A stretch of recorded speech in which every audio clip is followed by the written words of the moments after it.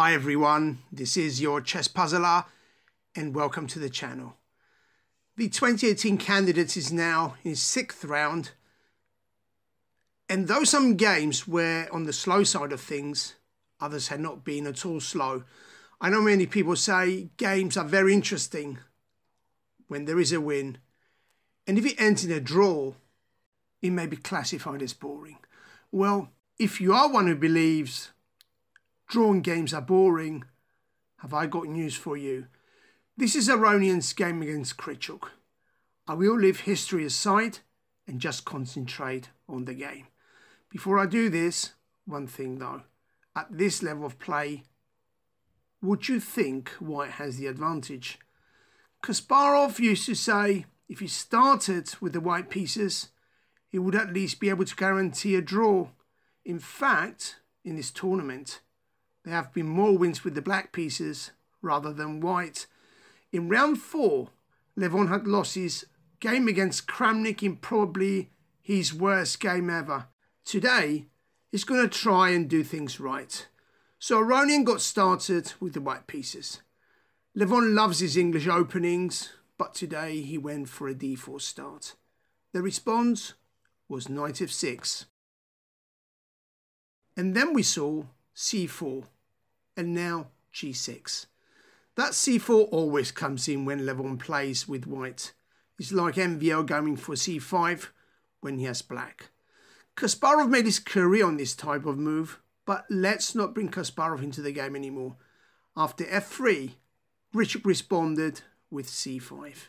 And the idea of this move is to allow white to take, and the result is that his efforts to control the center are going to fail. Aronian pushed on with d5. And what this d5 does, for now at least, is to stop the queenside knight from gaining access to c6 until this guy on d5 is gone or the knight finds another way of coming into the game. Grischuk responded with d6. And now the knight will find the opportunity to come out, probably using this spot on d7. Before he is able to become useful, Aronian went for e4. And for now, the center is his. Grischuk attacked d5, with the aim, of course, to break up white's control of the center. Knight c3 got these guys off the board. And now when the bishop came out on the diagonal, Aronian went for this very interesting knight move. Sticking the knight on e2 is not a usual move, but you need to be thinking what is next. So I can only guess this knight came here only as a precautionary or defensive move if you like to cover his twin brother on c3. Grischuk also came up with a knight move, which is far better because he has far more flexibility than any other knight. He has e5 and b6. Aronian went for his second consecutive knight move, and now I have no idea where else he can go next. Grischuk sussed out a probable h4 and didn't even give Levon a chance he got h5 in with ideas of going after this knight. Bishop e2 got the knight rerouted and now for this bishop move attacking d6 it was any response to cover. We know queen move to c7 is going to backfire as this runs into this knight attack. And if you have any funny ideas of coming in with a check, I don't know, Haven't thought about this one yet. Probably returning the bishop to attack the queen does it nicely. Moving out the king to f1 is also a very good option. Hold on. There is another attack on the queen. And how can I miss it? b4. And now we and now we are in business because if you take with a fresh check, the bishop will return and once he comes attacking, is the queen gone? No, she has b2. But even here, black is busted. There is always a nice check on c7, and the rook is gone. But what if we attack the queen? Take a2, and then we can be sure black is messing around with his lady. This bishop attack has to be the most powerful moves. Because the queen has to go now. Best to take the rook because if you take this bishop, why do you think this knight is here? d6 becomes now the hot spot and is now the turn of the big lady to retire. Coming back, this is why Grischuk didn't want to get his queen into unfamiliar territory. He covered by placing her here. When queen d2 materialized, we knew Aronian is looking to go for long or not. Maybe this queen move here is to cover b2 when this knight makes his way out of this spot. But let's not forget what is going on on the other side of the board. Grischuk came up with an excellent attack on the knight, and there is no player on the planet who's not going to go and get his knight back to safety. So back to f1 it was. And since Grischuk was on the attack, he went on and pursued this bishop too. And again, there is one spot you can be looking at e3. Knight e5 was spot on. And though Aronian has full control of the white squares, his position is a bit crammed. Levon went for g3 to open up the position, but Grischuk waited here. He went for this bishop move, a move that allows him to choose what side to castle. When these little soldiers were removed here, the position is already getting very complex. He got the rook active, leaving f5 to materialise. The attack on the knight led to him coming close into the action. So, what does white go for here? Whatever you do, do prepare to exchange pieces. The party started when e5 came in. e5 was immediately eliminated. But there might be just another way to do it here. I'm not going to go through this variation, but then again, I'm thinking if I don't cover it, I will be saying, why on earth I didn't. So let's try it. What the heck? What about if we take with the knight? Once this knight is removed, or slightly stronger, we can remove the bishop first. The knight can then squeeze in with a check, and now when he's recaptured, the rook can now come off and what do we have here? Sorry guys, this does not work because white is better off as a result of this variation. Okay, let's return. At least we tried it. Having taken e5, got the queen attacked. Queen e6 got the knight to come up the board. And this is the way Levon did it. He went for b5. But could d5 be better? You're probably worried about the queen taking. But if the rook lines up behind the queen, I think white is still better. So knight to b5 it was, with ideas of coming in with a check on c7, unless Grischuk castles. He didn't, and by bringing his rook to cover, Levon was very happy to see this. He came with a check, and he now decides to hand over the rook for the knight f4 is now removed. But if you recapture, we would have a situation, a very difficult situation. It is very easy to sit back and just watch the moves come out. But try them yourself. What on earth do you do here? Do you take f4? Or do you take the knight? Or do you go and remove c5? When the game ended, there was a lot of talk about this position. Grischuk's thoughts here, I'm not sure exactly how he said it, but he might have said he was neutral. Levon said his position was not very strong and was probably losing. When he was advised that long castles was the only move he was looking for, giving him a plus three score, he was extremely surprised because he himself was with the impression that he was losing. It is in fact a very interesting variation because if you do castle, once you allow the bishop to drop, when the knight recaptures, you can always try the pin on h6. But what doesn't work here is this, which is very hard to find. Bishop to b5. And you can sit here and stare at the board and you will still have trouble knowing what to do. Why? Because this is some heck of a position. Can we take the knight and pin the queen? Any takers here to confirm? Sure we can, but if you now just queen, king e7 will have the rook removed. And once you grab the queen, once you recapture, okay, the bishop will fall on b5. But even here, you don't need to capture this knight. And there is a reason for this.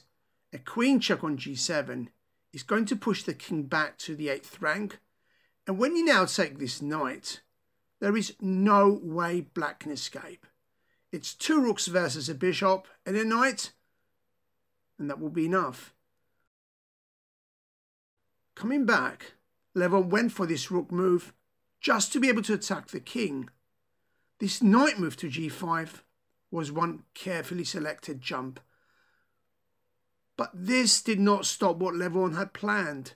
He came in with a queen promotion, and when the bishop took, the queen came in with a check. When the king got out to f7, Levon could have taken the knight, but chose to go for another check. And when the king returned to g8, what if Levon went for this rook move? Well, let's not worry about this because this is exactly how Levon played it. Wherever the queen goes is not going to do it. Grischuk returned the queen to f7 and even the very best can get it wrong here. If you take the bishop with a check, after the king escapes to h7, the queen can easily return to eliminate c5. And though the position is not very clear, let's continue. An attack on the queen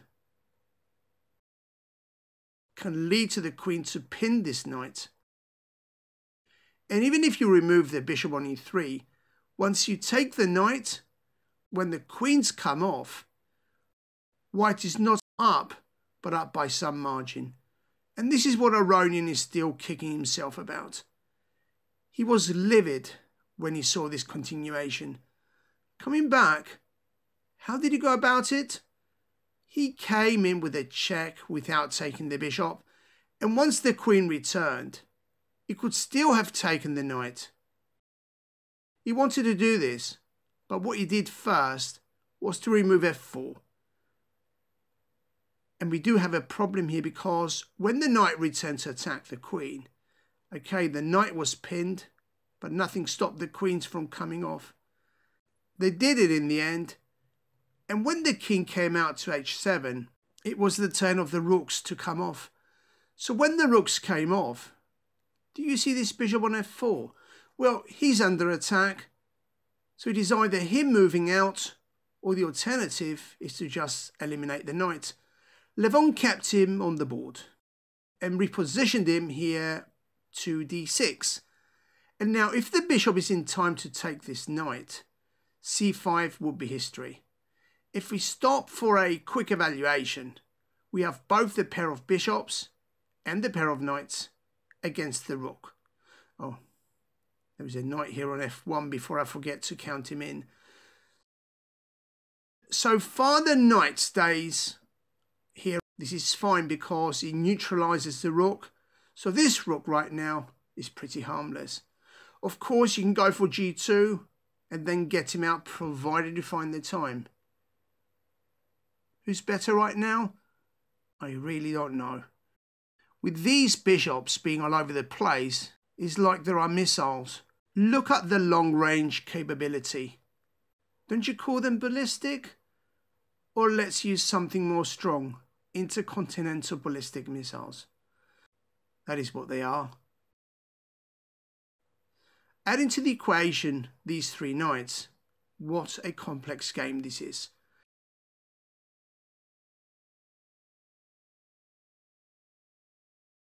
Taking c5 may lead to disaster because before you go for the obvious attack, and I will explain, if you first attack this bishop, dropping the bishop back to e3 is going to bring this knight with his very heavy blow, and there goes white for sure. So if we come back, Aronian did in fact come up with the rook move because it also protects this guy here on b2. And since it also covers h2, the knight is free to move out.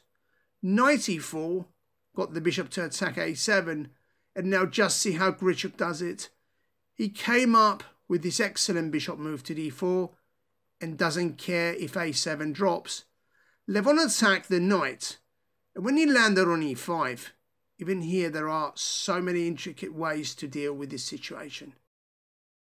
One possible way is to give up your bishop for the knight. And once the bishop recaptures, the bishop on c4 can be used as a leverage to get the rook out to the back rank. Another possible way is what Grischuk did. He got the bishop out of danger, which also attacks the knight.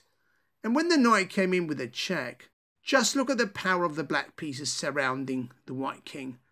King e2 could have dropped b2, and yet Grischuk didn't risk it.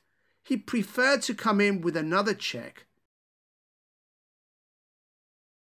And when the king moved back to d1, the knight returned to d3. And now knight d2 to challenge the knight on e4 to take. Grischuk didn't. He pulled him back to f6, and that was the bishop in danger. Levon got him out of harm's way, and after 42 moves of some fantastic yet complicated, very complicated game, the two agreed to share the points between them. Having gone through this game, we saw some very interesting positions Okay, Aronian is kicking himself because he could have done with a win here, because he was landed with the opportunity, and yet he missed his chances. Grischuk in turn was also very resilient, and if you look at the moves these two fished out in this game, we can only appreciate them for their entertainment. Grischuk in particular is such a witty character. I love the way he cracks his jokes. Okay, Grischuk lost his very first game against Kramnik. Then he won Wesley in round two. In round three, he drew against Karyakin. And then he drew again in round four against our dark horse, Ding Liren. A Ding Liren who is following the steps of Anish Giri. Yep, six games, six draws. Just wait one or two years and this guy is going to go for gold. Okie dokie. What awaits in round seven? Grischuk meets one of the two leaders, Mamedyarov. Kramnik is up against the Dark Horse. Sergey meets Wesley, and the remaining two are Levon and our other leader, Fabi, who's on top of his game. Six games, no losses, and two wins. One against Wesley in round one, and another against Kramnik in round four. And I'm happy to have gotten this game between Aronian and Grischuk out the way because it was an absolute beauty from start to end. And I nearly forgot because I wanted to mention it, and yet I didn't. If you go back to White's third move, that f3 Levon went for, this is what people call the anti-Grunfeld, a weapon Aronian used to sabotage Grischuk's choice of opening. Okay, I shall be back for more, but I also wanted to remind everyone who's watching, do not forget because right now there is another competition which is far stronger than the candidates, the Top Chess Engine Championship, which puts to shame even our very best chess players. I have neglected these games to cover the candidates, but I do really need to cover some very important games here too. So until next time, this was your Chess Puzzler.